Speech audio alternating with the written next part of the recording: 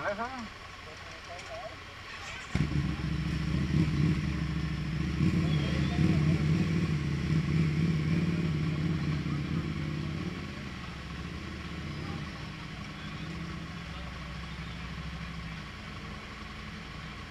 ¿Qué para ahí, madre? ¿Qué es eso? ¿Qué es eso?